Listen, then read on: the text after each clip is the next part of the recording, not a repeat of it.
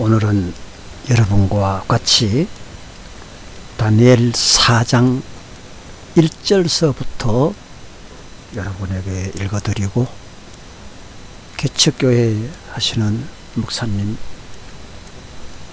얼마나 어려움이 많습니까? 이제 여러분에게 제가 희망과 용기와 비전을 전해드리겠습니다. 여러분께서 지금까지는 고생하셨지만 이제 저와 같이 뜻을 같이 하고 하나님의 말씀을 공유할 때에 여러분에게 놀라운 확실하고도 선명한 하나님의 역사가 일어날 것을 저는 확실히 믿습니다. 다니엘서 4장 1절 너부겐네살 왕이 전국에 사는 민족과 언어가 다른 뭇 백성에게 다음과 같은 조서를 내렸다. 백성에게 평안이 평강이 평화가 넘치기를 바란다. 가장 높으신 하나님이 나에게 보이신 표적과 기적을 백성에게 나는 기꺼이 말하고자 한다.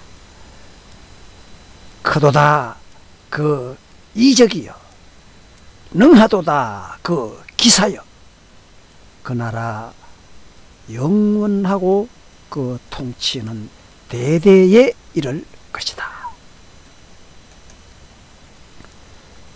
나 너부겐나살이 집에서 편히 쉬고 있을 때에 궁에서 평화를 또한 누리고 있을 그때에 나는 한 꿈을 꾸었는데 그 꿈이 나를 두렵게 하였도다. 침대에 누워 있어도 생각이 번거로웠고 머릿속에 받은 환상 때문에 나는 번민하고 있을 바로 그때였다. 그래서 나는 그 꿈의 해몽을 들어보려고 바벨론의 모든 지혜자들을 다 내 앞으로 불러오도록 명령을 내린 바가 있다.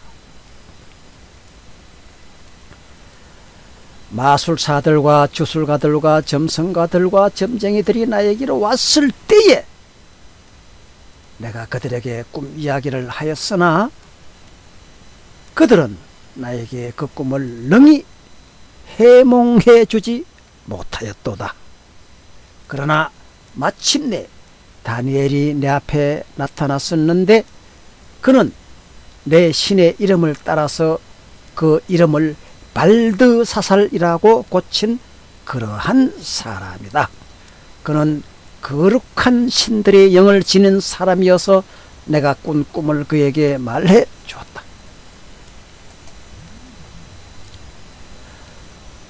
마술사의 우두머리인 발드사사라 내 너의 안에는 거룩한 신들의 영이 있으니 어떤 비밀도 너에게는 어렵지 않을 줄을 내가 아노라.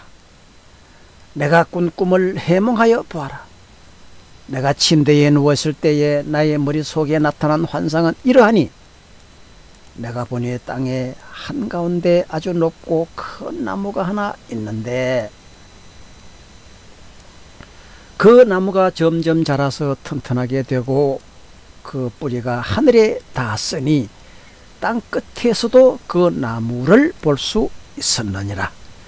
나무는 잎이 무성하여 아름다웠고 열매는 온 세상에 먹고도 남을 만큼 풍성하였더라. 들짐승이 그 그늘 아래서 쉬고 있었고 그 큰 나무의 가지는 하늘에 새들이 깃들고 있었도다. 모든 생물이 그 나무에서 먹이를 얻었도다. 내가 침대 위에서 나의 머릿속에 나타난 그 환상을 또 보니 거룩한 감시자가 하늘로부터 내려왔어. 큰 소리로 외치며 이렇게 명 령하였다. 이 나무를 베어서 가지를 꺾고 잎사귀를 떨고서 열매를 해쳐라. 나무 밑에 있는 짐승들을 쫓아 버리고 가지에 깃든 새들을 쫓아내어라. 다만 그 뿌리에 그릇터기만 남겨두고 쇠줄과 노줄로 동이고 들풀 속에 버려 두어라. 하늘의 이슬이 적게 하고 땅의 풀 가운데서 들짐승과 함께 어울리게 하여라. 또 그의 마음은 변하였어. 사람의 마음과 같지 않고 짐승의 마음을 가지고서 일곱 때를 지낼 것이다. 이것은 감시자들이 명령한 것이며 거룩한 이들이 말한 것이다. 이것은 나의 가장 높으신 분의 인간이 나라를 지배하신다는 것과 뜻에 맞는 사람에게 나라를 주신다는 것과 가장 낮은 사람을 그 위에 세운신다는 것을 사람에게 알리도록 하려는 것이다.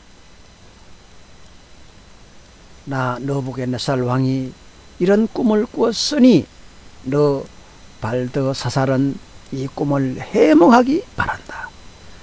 내 나라의 모든 지혜자가 그 꿈을 해몽하여서 나에게 알려주지 못하였으나 너는 너 안에 거룩한 신들의 영이 있으니 능히 할 수 있을 것이다.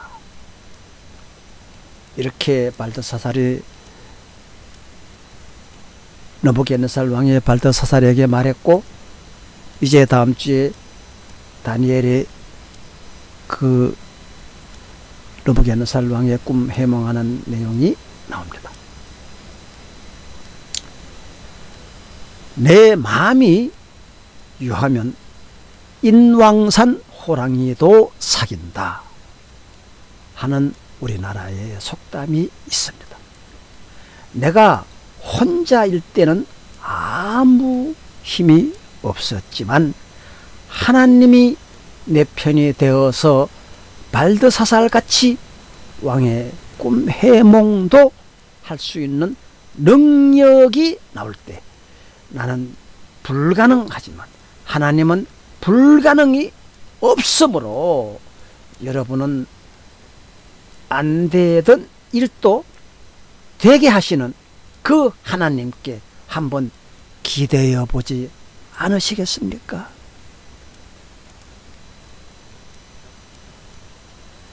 이제 저는 개척교회 목사님 모든 분들에게 자신 있는 말씀 그 두 번째 비법을 전해 드리겠습니다.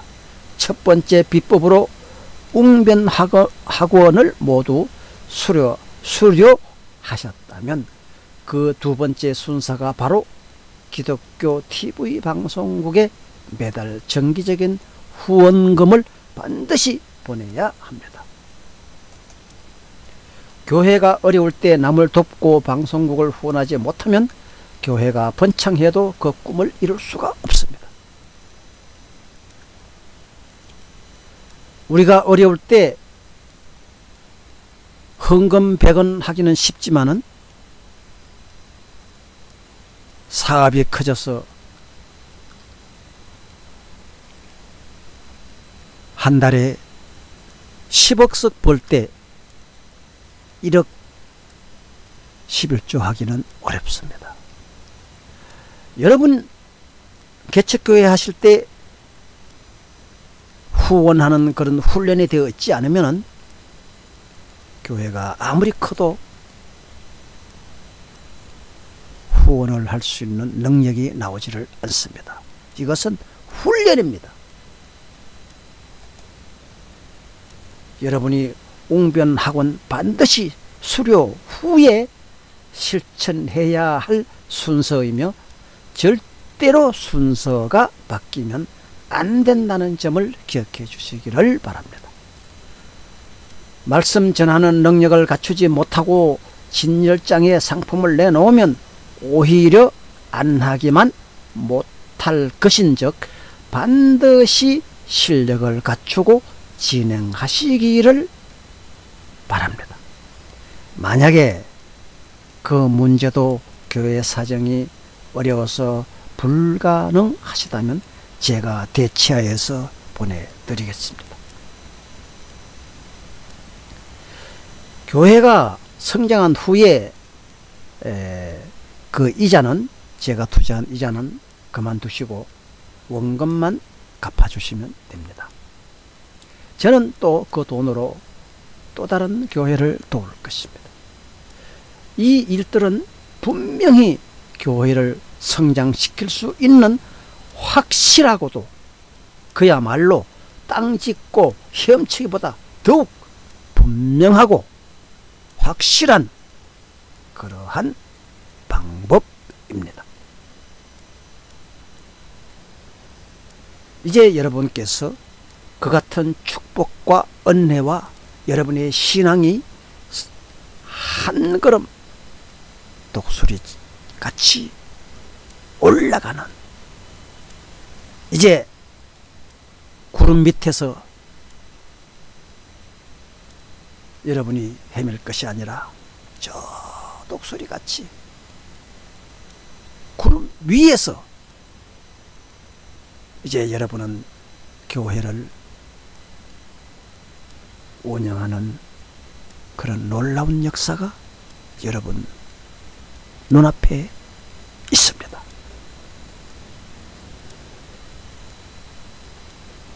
여러분, 믿음이 있으면 그 믿음대로 분명히 됩니다.